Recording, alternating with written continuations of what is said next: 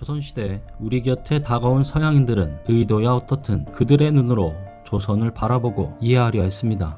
그리고 그들 나름대로 보고 이해한 것을 기록했습니다. 서양인이 조선에 관해 쓴 최초의 글은 일본에서 선교 활동을 하다가 임진왜란 때 왜군을 따라와 포교를 시도하다 돌아간 스페인 선교사 세스페데스의 선교사들의 이야기란 책입니다. 그 다음 쓰여진 책은 우리가 잘 알고 있는 제주도의 표류에 조선에 14년간 억류되었다가 탈출한 하멜의 기록, 하멜 표류기입니다.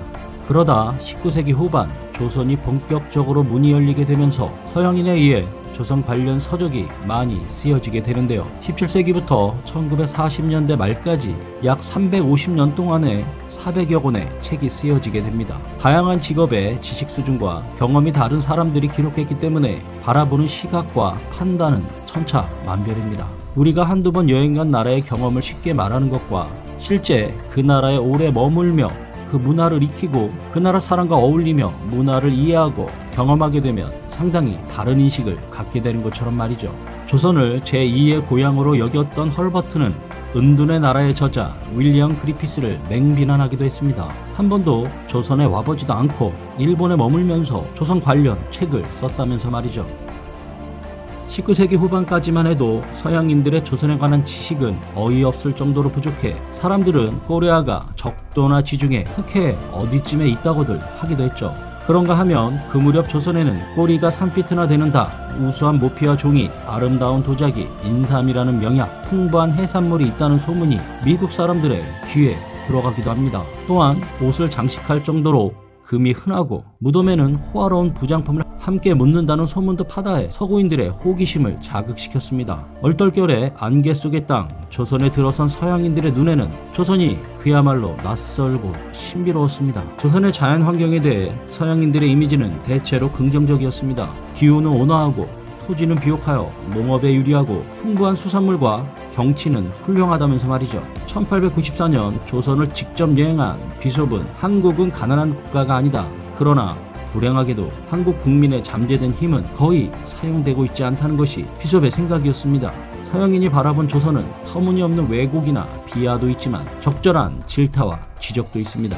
서양인들이 자주 제시하는 조선인들의 부정적 이미지는 나태함, 무기력, 불결, 사치였습니다. 조선의 위생과 관련된 기록을 보면 조선인들은 몸에 이가 많아야 장수한다고 생각을 했고 몸에 이가 없으면 빨리 죽는다고 생각했다. 실제 몸에 이가 많아 보이지 않아 크게 걱정하는 경우도 있었다. 그들은 목욕을 일생 두 번 정도 한다. 한 영국인은 조선에서 가장 깨끗하다는 사람이 평생 본 가장 더러운 사람이었다고 한다. 조선을 방문한 서양인은 조선에서 가장 무서웠던 것이 길에 가득한 사람과 짐승의 분노였다고 한다. 차라리 내 코가 없어졌으면 좋겠어. 똥오줌이 버려진 도랑에서 아이들이 놀고 그 도랑에서 채소를 씻었다. 아이가 똥을 누면 개가 와서 핥아 뒤처리를 해주었다. 조선의 개는 인간의 똥을 먹고 살고 나중에 조선인은 그 개를 잡아먹는다. 이처럼 조선의 위생은 엉망이었던 건 맞는 사실입니다. 하지만 1세기 전 서양도 별다를 바가 없었습니다. 미국의 루즈벨트 대통령의 친구인 캐난은 나태한 나라 한국이라는 저서에서 조선인을 나태하고 무기력하며 몸도 옷도 불결하고 아둔하며 매우 무식하고 선천적으로 게으른 민족이라고 악평을 늘어놓았습니다.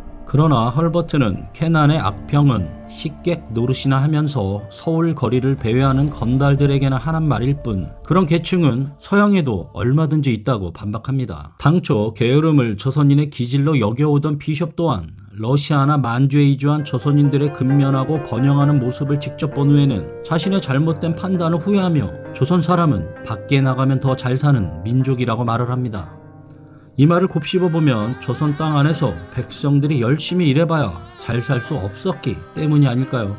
가혹한 세금과 수탈로 인해 백성들에게는 희망이 없는 인생이었을지 모릅니다. 서양인들이 조선에 와서 가장 연민을 느낀 것은 여성들의 비참한 삶이었습니다. 비숍은 사회적 멸시와 남존 여비에서 오는 비애와 절망, 힘든 노동, 각종 질병, 부족한 사랑, 은둔 등이 그녀가 본 조선의 여성상이었습니다. 남자들의 방탕한 외도와 축첩을 놓고 조선 사람들은 집은 있으나 가정은 없으며 조선의 딸들은 아버지 손에 의해 처형되며 아내는 남편한테 살해당한다며 비숍은 같은 여성으로서 비탄해 했습니다. 물론 이 표현은 실제 아버지가 아내와 딸을 죽인다는 것은 아니라 그만큼 조선은 여성이 한 인간으로서 살아가기에는 지옥 같은 곳이라는 의미겠죠. 부정적인 면과 더불어 조선인들의 본성과 마음, 생활 간습은 이방에서 온 서양인들의 호기심을 불러일으켰습니다. 조선인들의 건전한 도덕과 따뜻한 인정은 서양인들에게 깊은 인상을 남겼음을 여러 기록에서 찾아볼 수 있습니다. 한반도를 8년간 12번이나 여행한 캐나다 출신의 선교사 게일은 저서 전환기의 조선에서 한국인은 정직해서 신뢰할 수 있고 신용을 중시하며 문서가 아니라 구두로 한 약속도 철저히 지키는 등 서양인보다 더 훌륭하다는 호평을 내립니다. 다빌리는 저서 조선사 입문을 위한 노트에서 조선인들의 상부상조 정신에 크게 감동하면서 서구인들의 근대적 이기주의에 대한 증오와 가증스러움을 느낀다고 자기의 심정을 털어놓았습니다. 그런가 하면 두 번이나 조선을 찾은 영국의 랜더나 헐버트 같은 이들은 조선인들의 교육열과 언어 습득 능력은 중국이나 일본인들을 뛰어넘는다면서 말귀를 알아듣는 총명함이나 신속한 이해력과 추론력에 대한 놀라움도 서슴치 않았습니다. 지금까지 살펴본 것만 봐도 조선에 대한 서양인들의 이해나 이미지는 이렇게 다릅니다. 개인적 견해지만 서양인 중에 조선에 대해 헐버트가 가장 깊이 이해하고 알고 있지 않았나 싶습니다. 기회가 된다면 머지않아 헐버트에 대한 이야기로 영상을 한번 만들어 보겠습니다.